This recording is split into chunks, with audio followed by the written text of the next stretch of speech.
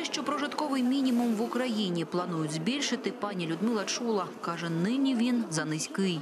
Он неадекватен. Ну как можно говорить о адекватности этого прожиточного минимума? Ну как, при таких ценах и коммуналке?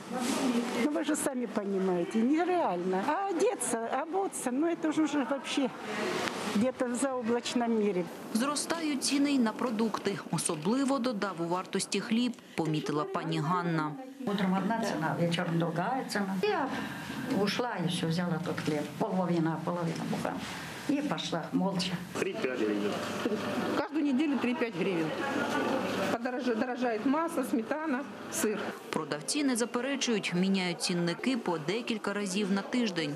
Может и два раза подорожать. Если раньше было подорожание на 3-4 процента, и мы уже говорили, ой, это очень много, это очень там болезненно, то сейчас и на 10 процентов дорожает. Покупательская способность очень упала. Если человек раньше мог себе позволить э, купить, допустим, на 50 гривен там и печенье, и конфеты, и что-то еще, там выпечку какую-то, то сейчас 50 гривен это вообще ничего. Експерти погоджуються, прожитковий мінімум значно відстає від реального споживчого кошика – приблизно в половину.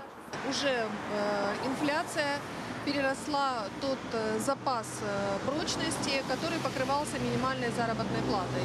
А, Поэтому можно сказать, что прожиточный минимум – это следствие того, а, что у нас очень сильно подскочил индекс потребительских цен. Поэтому вот прожиточный минимум, он, э, наверное, призван скомпенсировать какую-то часть потерь, которые возникают у людей в связи с тем, что цены уже поднялись.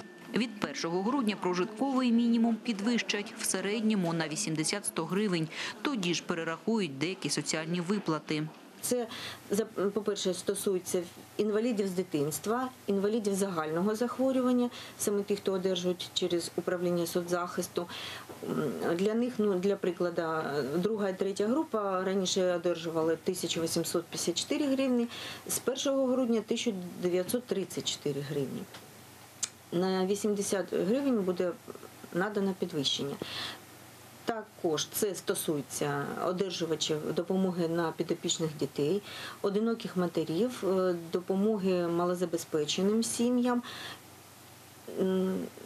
і ті, хто отримують е, аліменти на батьків, яких ухиляються від них. Тоді ж мають збільшити мінімальну пенсію до 2600 гривень, анонсував прем'єр-міністр України Денис Шмигаль. А зарплата зросте до 6,5 тисяч. Марія Сергієва, Максим Чумак, Максим Кривошеєнко, телеканал Донбас.